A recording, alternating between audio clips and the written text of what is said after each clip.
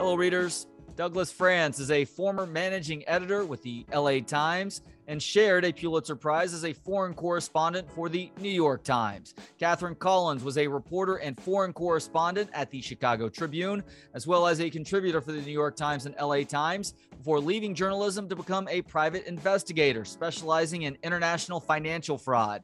Together, they are a husband and wife and co authors of several nonfiction books. The newest will hopefully be considered one of the top books of the year by the end of 2022. It's called Salmon Wars The Dark Underbelly of our favorite fish. Doug, Catherine, thank you so much for the time. How are you doing today? We're doing great. Thank you. Thanks yeah, for having us. We're really happy to be with you. Thank you very much. It's my pleasure. So, Catherine, we'll start with you here. What was the genesis of the idea for this book? Well, there are really two ways to answer that question. Um, it may seem like an odd subject for us. Neither one of us is a fly fisherman, an angler. Neither one of us is a marine biologist or even an environmentalist. But we think that, or we hope that, our readers will be people just like us, people looking for a uh, healthy and sustainable way to fill our dinner plates. But um, that said, we do have some connections to this subject. My father was an avid fly fisherman. Uh, he loved it the way some people love golf. And uh, growing up, he'd come home from fishing trips with big piles of wild caught Atlantic salmon. And that's what we ate at every single special meal in our household my kids, our kids have never known that pleasure. And then um, about 20 years ago, they moved back to Nova Scotia, 30 years ago, and uh, saw a small fish farm going in not far from their, their cove.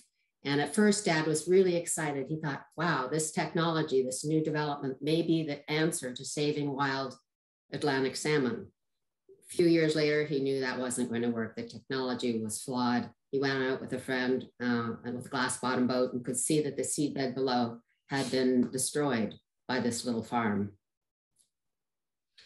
And so we, so we, I'm sorry, Trey. So we had that concern in the back of our minds for 30 years or so. And when we moved home to Nova Scotia, um, we heard about a plan for 20 more of these huge fish farms. And they're really huge floating industrialized feedlots to come to be planted along the coast of Nova Scotia. There was a public meeting not far, from our house in January 2020, and we went up just to hear. And what we heard was, was worrisome, to say the least. We heard from environmental experts, from fishermen, from lobster fishers about the damage to the environment and the threat to wild salmon from these fish farms. And so we did what we've done our whole careers we investigated. We we began working on this book. And for anybody reading this book, you find out pretty early on a scary comparison to what the salmon farming industry is. You call it a combination of big tobacco and big ag. Why is that, Doug? Well, partly it's the the the comparison to big agriculture is that salmon farming on the these are feedlots sit sitting on the ocean along coastlines, often along salmon wild salmon migration routes. And over the years, over the past two decades especially, they've grown from small mom and pop operations to giant industrialized feedlots that are hyper intensive, just like big agriculture, just like cattle feedlots, just like barns that hold 100,000 chickens. And life is pretty darn miserable for the chickens in those barns, for the cattle in the feedlot, and certainly for the salmon jammed into these small cages. And so that's the comparison to big agriculture. You know, it's it's prof this is a profit-driven business run by half a dozen or maybe a dozen multinational corporations that are driven only only by profit, though they wrap themselves in this uh, cloth of feeding the world. The comparison to big tobacco is that over the years, it's been known since 2004. So there was a landmark study that showed that farmed Atlantic salmon in these in these in these open net salmon farms are higher in toxic contaminants like PCBs than wild salmon. And therefore, there's enough accumulation of residue that they're dangerous for your health. But the industry has spent the past two decades covering that up, trying to discredit that science exactly the way big tobacco suppressed for many, many years that smoking was dangerous for your health. We're not saying, Trey, that eating farm salmon is as dangerous as smoking, but we are saying in this book, Salmon Wars, that the science tells you you should be wary, you should be careful, and the science tells us it damages the environment. But most consumers just don't know that. And that's why we've written this book. Yeah, and unfortunately, that's the case also, Catherine, when you're talking specifically about salmon that has been labeled farmed salmon. And just go to the grocery store. It's next to impossible to find something that is described as wild caught. And on the one hand, I guess they're at least being a little bit earnest about that part of the process. But considering how much of our seafood is raised on farms now, especially when you're talking about salmon, it has a wide ranging impact on, on just about every single piece of that fish that Americans eat. That's true. And, you know, we lived in Paris for a few years and we'd go to the fishmonger and we could see where the fish was raised, what it was fed, how it was harvested. It was very clearly labeled. So, so we know that it can be done. And we know that this country can do, do much better. It was the, uh, the FDA in a recent uh, list of inspections did what was it, Doug? 89 inspections for 379,000 tons of seafood. That just isn't sufficient. I mean, the government is not protecting you here for, about the safety and the use of chemicals and other residues and contaminants in these fish. They're not protecting you. And the labeling on this fish is likely to say just, just fresh Atlantic salmon. Oftentimes, it doesn't say that it's farmed. Never does it tell you how it was raised, what chemicals were used. One of the things we advocate for in this book is something like a QR code on the labels that you could flash your smartphone on and you could see where it was raised, what kind of chemicals they used. You know, that's just necessary consumer education, and no government has been willing to, to adopt that kind of regulation yet for farmed Atlantic salmon or for other aquaculture, really. It's akin to nutritional labels on packaged goods. It's such an obvious thing in this day and age, even though that is a flawed process in its own right. It's better than what it used to be 20 and 30 years ago.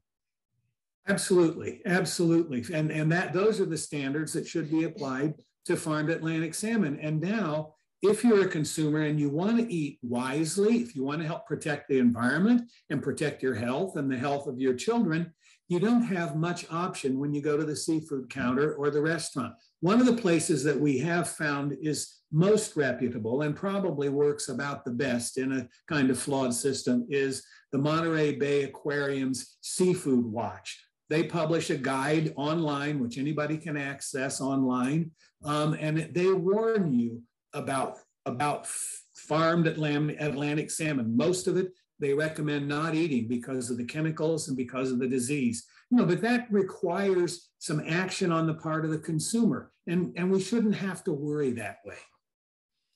Yeah, unfortunately, we do, though. And much like with the modern medical system here in the US, it's uh, up to the individual to really take charge of their own well being.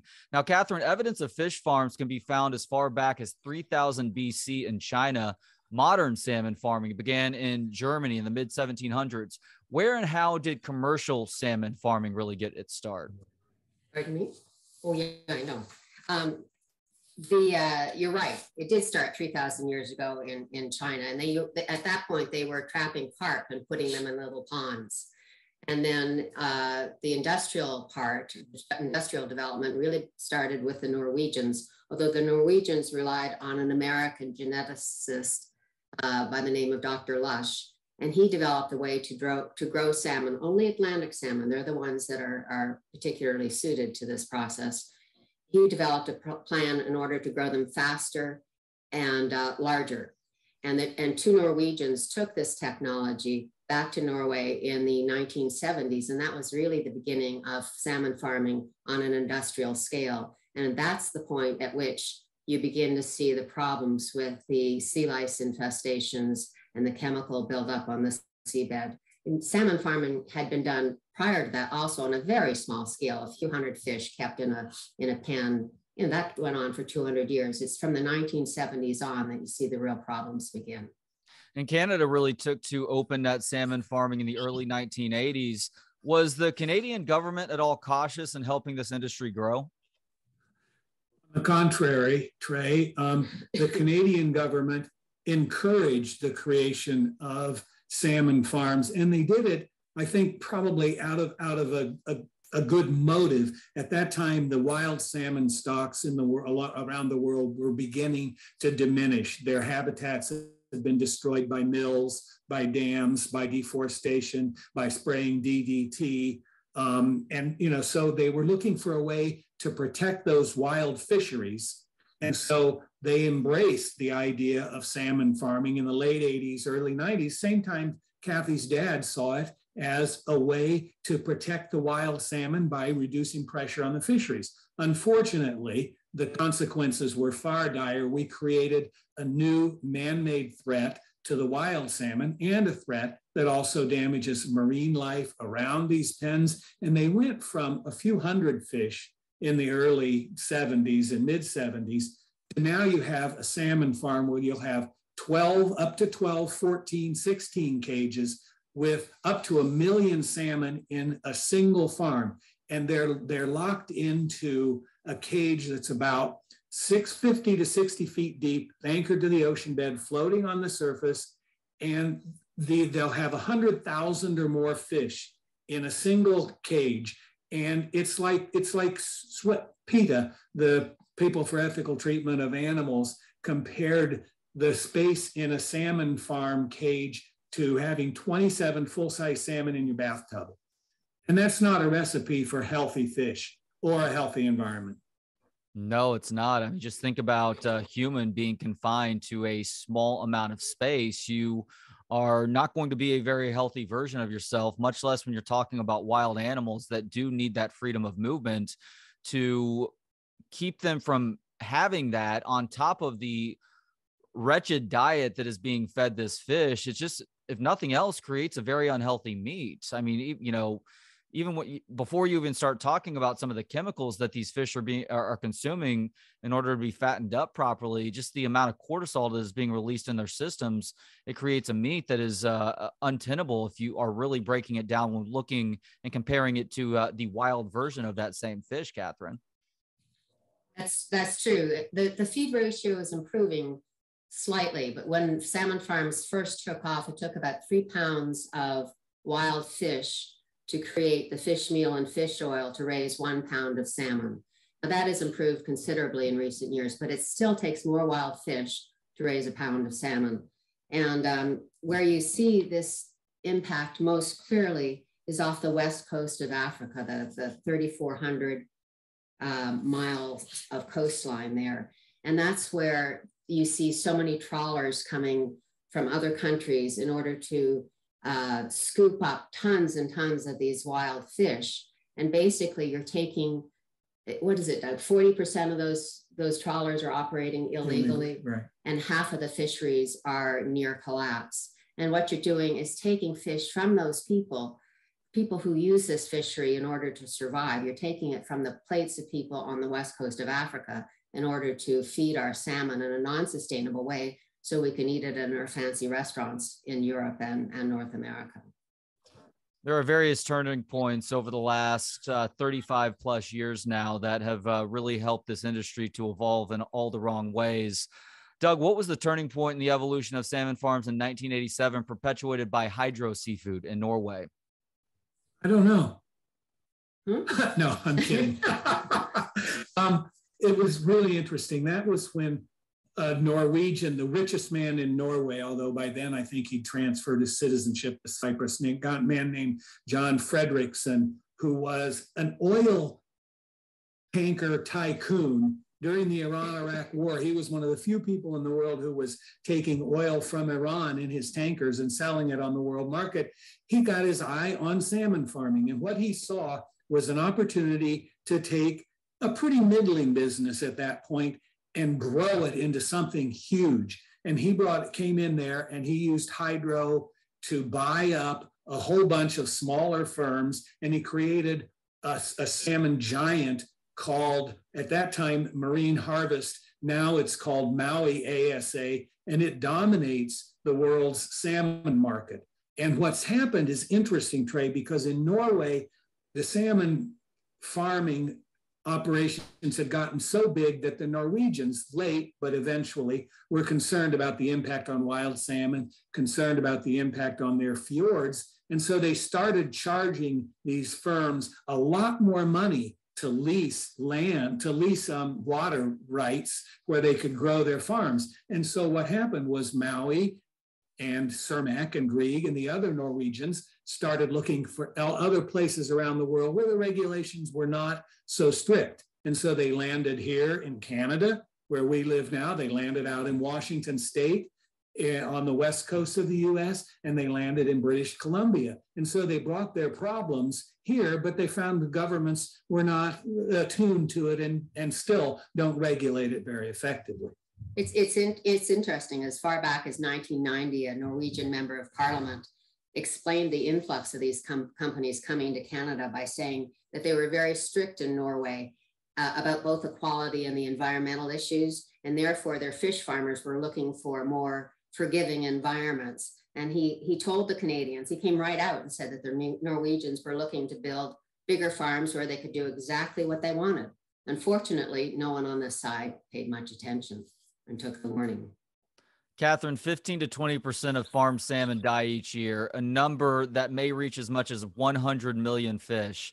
Much of that number succumbs to something called sea lice. What are sea lice and what is the very unappetizing sounding sea lice soup? Google sea lice, not before you eat a meal. Um, uh, the industry will tell you occur naturally in the environment. And if you ask my father, he'd say, Oh, yes, I'd see them every once in a while. And you just flick them off with a fingernail. The problem is in the wild, a sea lice will uh, fall off because of the currents or damage a fish and he'll die.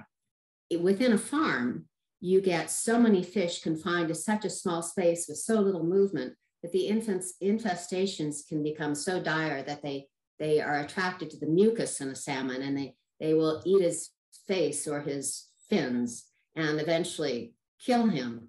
We, we spoke to a, a, a woman in Newfoundland who used to work in a fish processing plant who described using a shock vac to remove the sea lice uh, before processing the fish.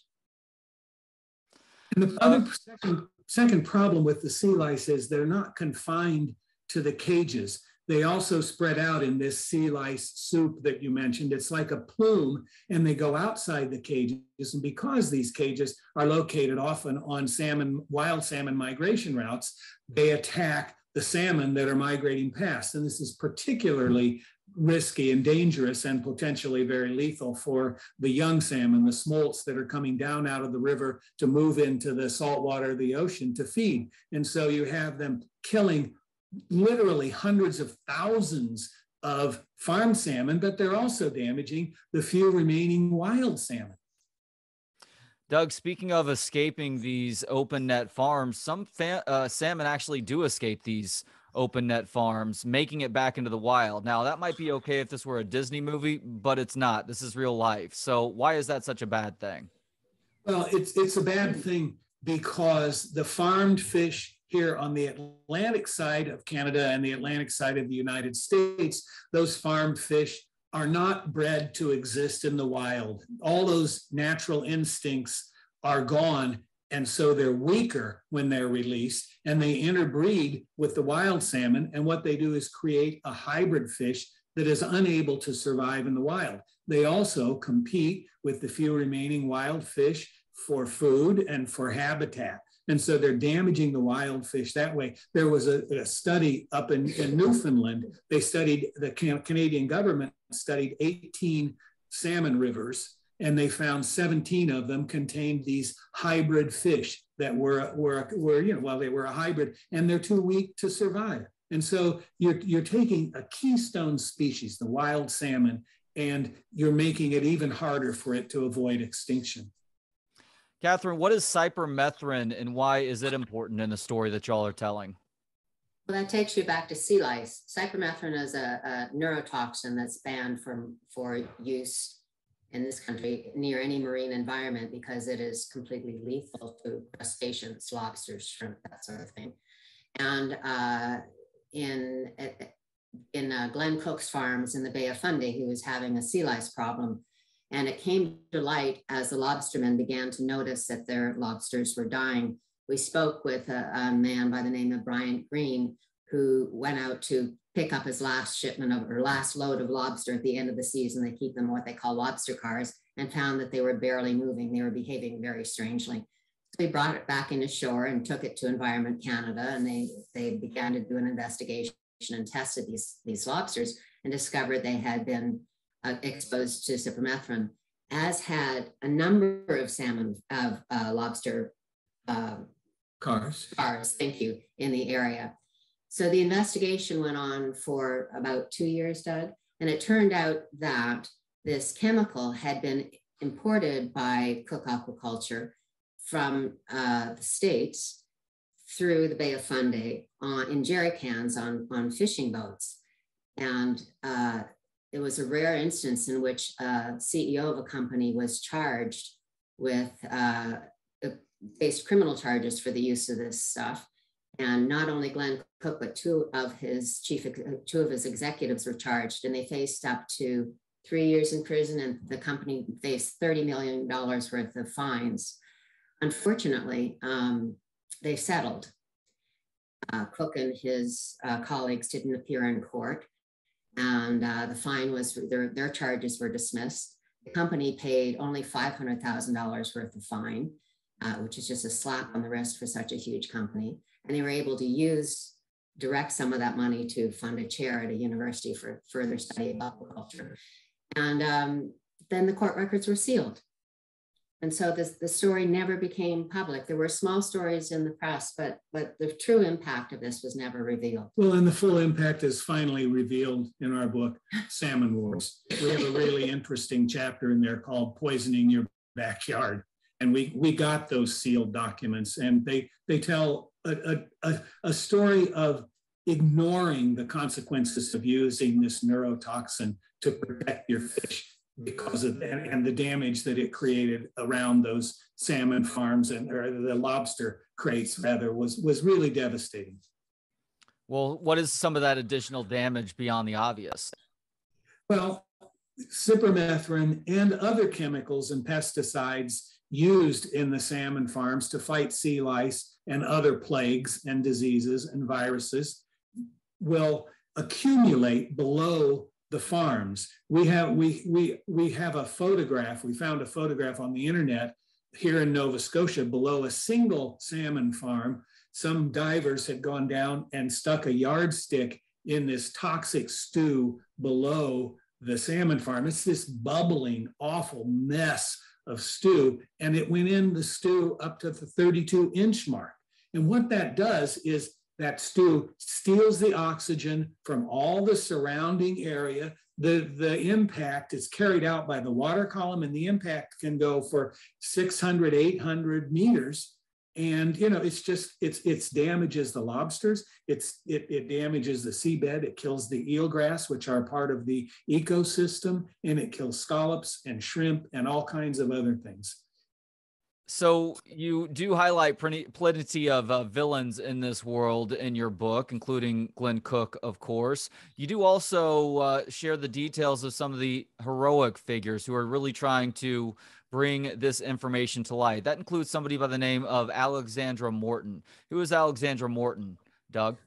Alex Morton is really the godmother of the resistance worldwide to salmon farming, to open net salmon farming. She's she's she's a marine biologist who lives in Puget, just off Puget Sound in British Columbia, um, on the west coast of Canada, and she has fought for about 30 years now to protect the coast and to protect wild fish and wild mammals from the impact of these farms. She wrote she wrote a, she wrote a great book by a memoir that came out recently called Not on My Watch. And she, she's a fascinating character. And she lived out there for many, many years alone, raised her son after her after her husband died in a freak diving accident. But she's been committed to this. And Alex has spawned a, a larger resistance movement that is occurring in British Columbia, in Washington Washington State down the coast. She worked very closely with people there when they used the collapse of a, of a salmon farm in Puget Sound in 2017 to pass a law banning open net salmon farming in Washington State. She's working very hard to get them banned in British Columbia, and the Canadian government is moving close to that. But her reach has been worldwide, and she's one of the really colorful as you say, heroic characters who populate this book. I mean, we tried to take the story of the salmon and it, the salmon is is the hero here. The salmon is the central narrative line of the book, but we have a lot of colorful and, and really inspiring characters along the way. Yeah, Don Staniford is uh, another one of those characters. People just need to read the book, find out more about Don. Now, you uh, state the case that the supposed health benefits of salmon are far outweighed by the risks, especially when you're talking about farm salmon sadly, that info has been out there for everyone else to see too. As you mentioned a little bit earlier in this conversation, there was a major study that began to expose the dangers of farm salmon that was published in the journal Science back in early 2004. What exactly did this research uh, try and tell people back in 2004? It was warning, it tried to warn people about the levels of PCBs and other other contaminants uh, in farm salmon. And the study found that farm salmon contained up to uh, 10 times as much cancer causing chemicals than the wild fish did. And what was interesting was how the industry responded to this.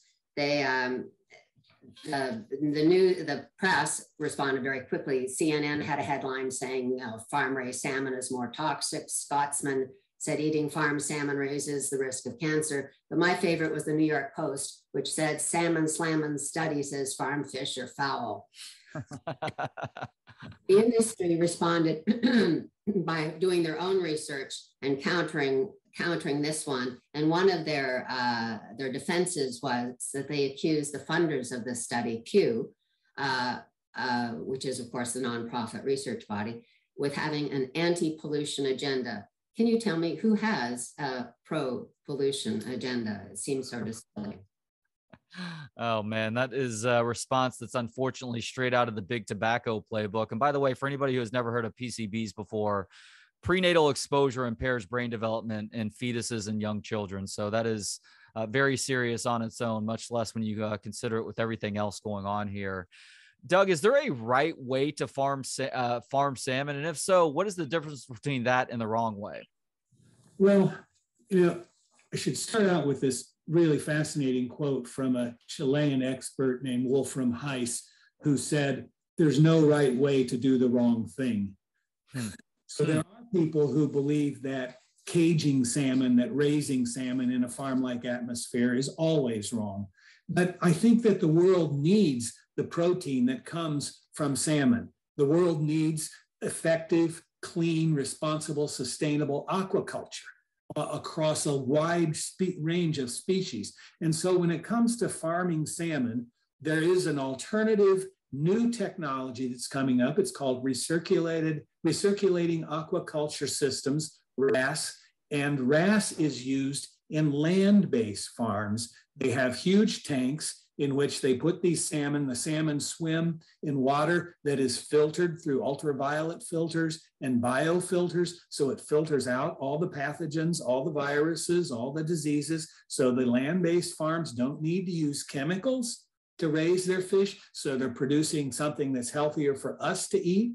These salmon never ever touch the ocean. And so they don't escape and breed, interbreed with wild salmon. They don't spread disease to wild salmon. And many of the best of these farms are recirculating all of their all of their water. They're, there's just very little spillage in the best of them, and they're using the solid waste that the filters pull out of the salmon tanks as fertilizer. Some in some cases they're burning it as biofuel as plants. You know this is a, a, an, a new technology. There are about 80 projects worldwide underway to raise salmon this way. We're lucky here in Nova Scotia, where we live, to have two very good ones that have been producing farm raised salmon for three or four years, and it's all we eat. It's the only salmon that we eat, and we don't eat it very much even. Um, but there's a big one down in Florida called Atlantic Sapphire outside Miami, which is a weird place to raise a cold water fish, but it's the biggest one in the world, and its products are pretty widely available. You know, so this this is a, this is a start, and we expect that by 2030, probably 20 to 25 percent of the market for farm salmon will be land-based salmon, which is much healthier for the environment and for the people eating it. That's a very encouraging piece of info. Go ahead, Catherine. One of the also one of the really interesting projects is in a strange place in the Midwest, and it's a, a company called Superior Fresh. Um, they have managed to uh, connect salmon farming, or they've managed to convince the salmon to live its whole life in fresh water, and they managed to connect the salmon farm with a hydroponic facility. So while they are raising salmon, they're using the wastewater to fertilize uh, growing leafy greens. And so there's this wonderful relationship going on there, and they're close to market, which helps to reduce the carbon footprint for people in the Midwest. And if I'm remembering correctly, that company is located in Wisconsin. Now, it's not often, but I occasionally do see salmon at the grocery store in the seafood department that is marked as being wild caught. Catherine, are the checks and balances in place that ensures that this claim can be trustworthy? No, they're, they're not in place. I mean, there, there's no clear definition of, of organic or sustainable. If it's wild caught Pacific salmon, it's wild caught. But farm salmon, 90% of the salmon we consume today is farmed Atlantic salmon. And most of that salmon, except for a very small amount, is raised in open net salmon farms on the ocean. And one of the things we found, Trey, in our research was a nonprofit um, advocacy group called Oceana has done a couple of surveys nationwide in the US and found that often what's sold as wild caught salmon is, in fact, farm salmon that has been purposely mislabeled because it costs more to buy wild salmon, as, as anybody knows, and as it should. But you know, you can you Alaska has a well-managed wild salmon fishery, wild Pacific salmon. There is no useful, well-managed fishery for Atlantic salmon. So if it says Atlantic salmon, it's farmed for sure. But often the labels, as it is with ignoring the how it's raised, where it's raised, chemical content, they just they there's there's no government strict government regulation on this kind of labeling. Omega 3s are a positive health benefit that salmon possess. They uh, uh, help with the risk of coronary heart disease, lower blood pressure, potentially improve neurological function, and reduce inflammation. Doug, are there similar levels of omega 3s in wild and farmed salmon? And if not, why not? Well, there, there have. It's interesting. One of the one of the physicians we talked to is a guy named Leonardo Trasande, who's a professor at NYU in New York. He has a medical degree from Harvard, a public health degree from Harvard, an environmental medicine degree from Harvard, and he's an expert in the impact of toxins on children. And he's very concerned about the buildup of PCBs and other contaminants in salmon. And he says that the, the, the problem here is for some people, pregnant women, children, and infants, the benefits from omega 3 in salmon are outweighed by the risks from these contaminants, which affect the brains of, of maturing children and fetuses. And so he wants you to avoid that. And what we've seen also is that in the farm salmon, the level of omega 3s has been dropping over the last few years. And that's one of the benefits, got a lot of omega 3 fatty acids, but they're dropping because the, the, the farm salmon get those omega 3s from forage fish, from these wild fish Kathy was talking about earlier that are scooped up by trawlers. Those fish have become far, far more expensive because the demand for farm salmon has gone up globally. And so they're more expensive. So the industry has been looking for alternatives and they've looked for vegetables. Go ahead. Well, initially they, they tried feeding these fish veggies, but salmon are carnivores. Um, they didn't like the veggies. Um, and that had a negative impact on the quality of the fish. More recently, they've been looking for other sources of protein it, it you don't have to eat another fish, but you have to eat the same protein. And you can get that protein from surprising sources. There, there are two projects on, on the East Coast. One that uses algal oil uh, uh, in order to create that protein. And, my, uh, and then another one that uses the larva from black soldier fly to uh, create the protein that the salmon like. And they also use this, this in, uh, you know, pet food uses wild fish and fish oil. Um, so they can also sell this to the pet food industry and help take the pressure off the, the uh, wild pelagic fish in other, in other bodies of water. You know, Trey, my favorite moment in reporting this book, we were, we were talking to a lawyer who who was really a, good guy, strong vegan, but still a good guy, and talking with him about about finding alternative protein sources, as Kathy's just described. So we stopped raping the oceans off of the west coast of Africa and Peru. And we, Kathy described the black soldier fly larva being used in this experimental plant here in Nova Scotia. And the lawyer said, in all seriousness, I wonder if those soldier flies need a lawyer.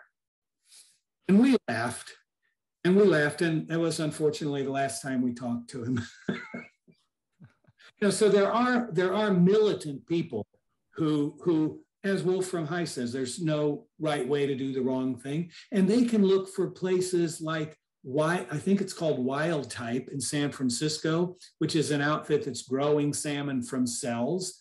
We found some of those experiments going on here where you grow them from cells, and that may be that may be the future. But for now, the future for farm raised salmon should be on land. Get them out of the water, get them away from wild salmon, and raise them in tanks on land. I completely agreed with that. Uh, one more question, Catherine, on what these farmed salmon are fed. Why do salmon farmers add dye to these chemical pellets that they're feeding their fish? Well, everybody likes a pink salmon. Hmm. In the wild, they eat krill, which give, has a chemical in it which gives the flesh a pink flavor, a pink tinge. And in order to create a similar a salmon, a similar a salmon that looks like a wild salmon, they have to feed it this this it's a, a it's a synthetic dye. It's a synthetic dye, and it turns the flesh pink. The interesting thing about salmon is after they spawn, they turn gray anyway. They taste the same, pink or gray, but it's more appealing if it's pink. And they've gone so far in the industry to oh, yes. create what they call a SalmoFan, which is if you know you go to the paint store and you see paint paint chips you know, on a, on a piece of cardboard and you can look at all kinds of different hues. Well, you can do that also and determine the color you want your salmon to be. And, and what they found is consumers really like them, kind of pink to red. That is insane. Oh man. Uh, so one of the interesting things that I read in this book is that the U.S. actually imports 90% of the seafood consumed in this country.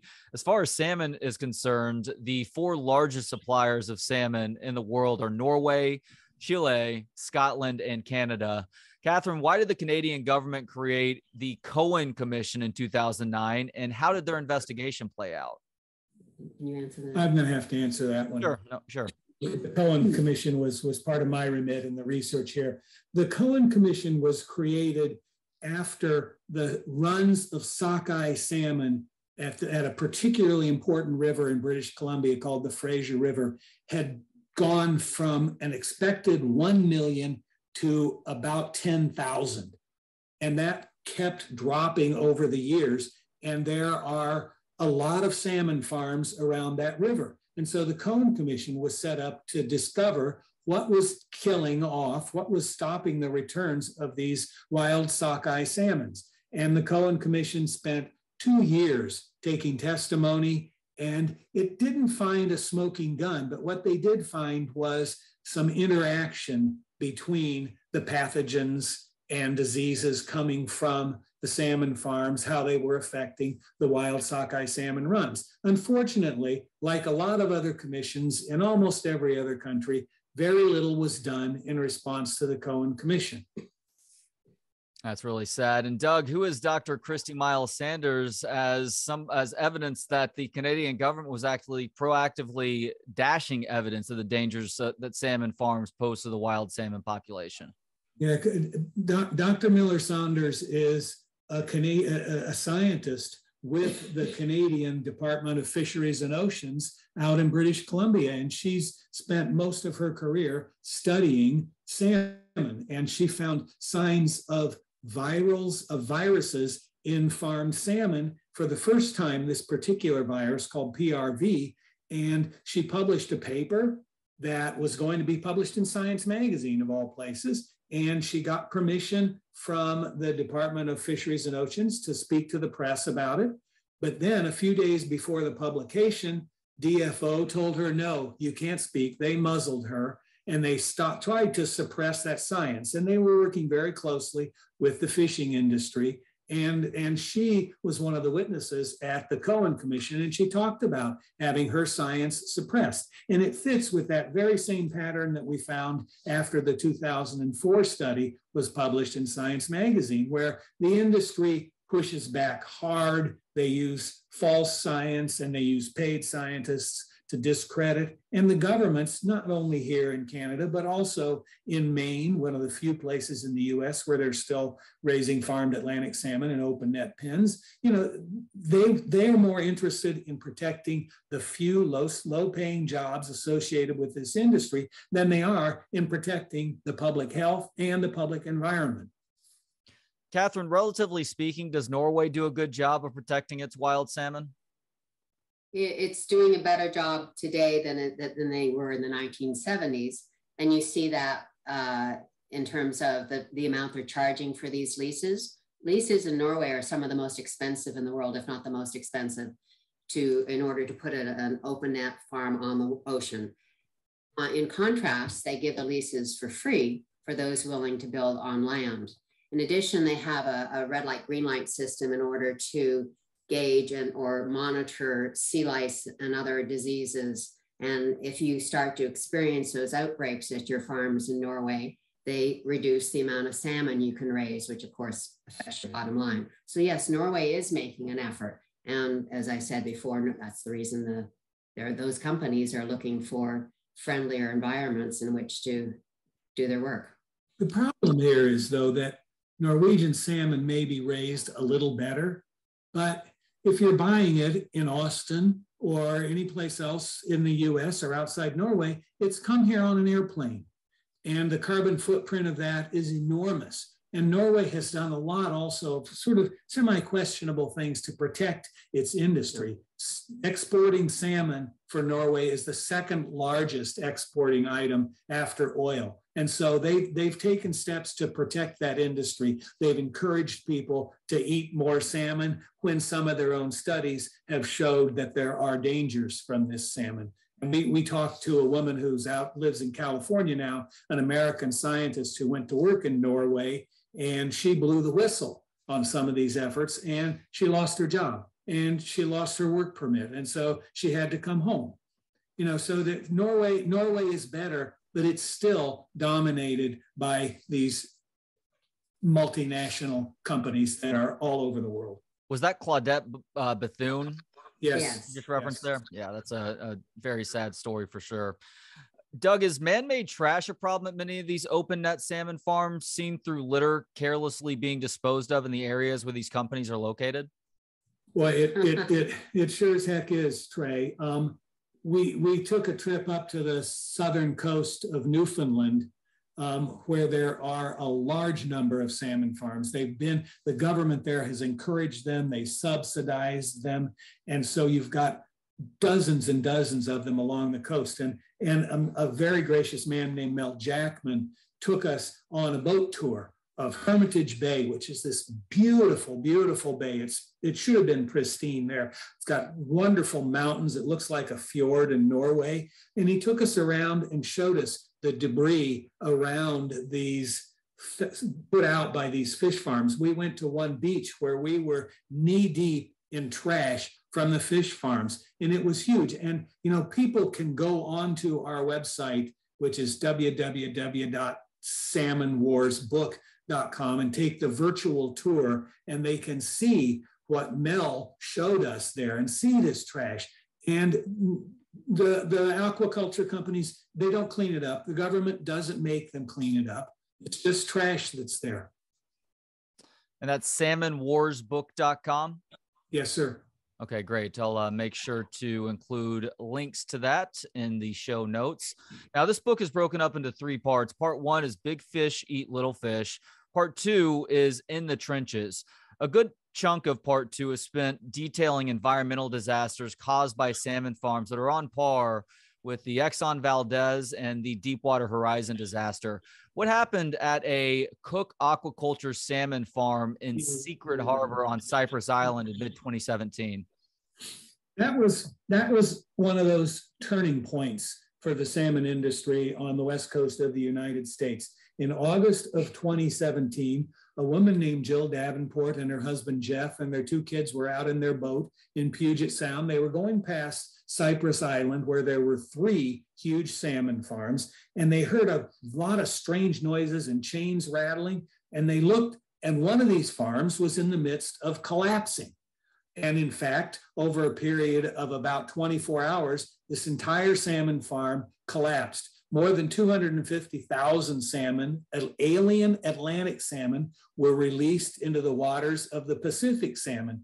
And the state of Washington investigated this. They found that the owners of that farm, Cooke Aquaculture from New Brunswick, Canada, had been negligent in maintaining the farms. These farms have nets that hang down to keep the fish in, and they have protective nets, a second row to keep out predators. And these nets were covered with mollusks and seaweed and they had become not nets to, pre- to let water through, but they'd become sails, and they pushed these salmon cages until they all broke loose from their moorings and collapsed. And it was a monumental environmental disaster. And in response, the Washington state legislature passed a law banning open net salmon farms in their waters. And that ban is in existence today. There are still attempts to, to use those farms for native fish in the Pacific South, uh, Pacific Northwest, and we would prefer they didn't do that, and a decision is expected soon. But that was a colossal disaster, and it had a strong impact. Now let's switch to the east coast of Canada and go back to Newfoundland for a minute, where in 2019, just two years later, Mowi the Norwegian firm that is the dominant salmon farmer in the world, lost nearly 3 million salmon across 10 of its farms in a single incident. Nearly 3 million dead salmon. The photos of them pumping these this salmon flesh, these huge salvage ships out of the out of the, the cages is, is, is gross and heartbreaking. And, and yet the Norway, the, the Newfoundland government took basically no action. And in fact, the Newfoundland government is now on the verge of opening up more and more of its coastland to these open net salmon farms. They should be going the other direction, but they're not. Mm. Part three is titled The Next War. Though much of this book is forced to deal with the negative, there are reasons for optimism. Doug, how does the Miramichi River provide a glimmer of hope for folks? It's it's a it's a great positive story, and we do have some positive stories in that in that third third section of the book. Trey, the Miramichi has been a historic and famous salmon fishing river in, in Canada. Ted Williams, the American hero Hall of Fame baseball player, had a salmon camp there. The Hershey family from Pennsylvania had a salmon camp there. You know, it was it drew anglers from all around the world. But over the last three or four decades, the salmon population had dwindled to almost nothing. And so what's happened there is the Atlantic Salmon Federation, a nonprofit group, and other community organizations have gotten together to restore that river. They've created places, they've used carefully placed boulders to create resting places in cool water for the salmon. They've tried to push away, push back the habitat destruction that was going on there. And it's a positive sign. They're, they're, they're having salmon come back, small numbers still, but, in, but they are coming back. And we saw a similar and perhaps larger effort down in Maine in the Penobscot hmm. River and Penobscot Bay, where again, the Nature Conservancy and other community groups got together. They bought two dams from uh, an electric company and they tore them down to open up the river for salmon migration. And you've seen again the numbers coming back slowly, slowly, but at least it's headed in the right direction. Okay. And last question here, because this book obviously it details something that is very serious and it is uh, really tearing down some myths about something that is consumed widely in this country and around the world. Uh, were you all concerned at all when starting this project that you would receive a lot of pushback from the industry, uh, from the corporate press, from others who uh, don't necessarily want uh, this sort of information to be out there for the public, Catherine?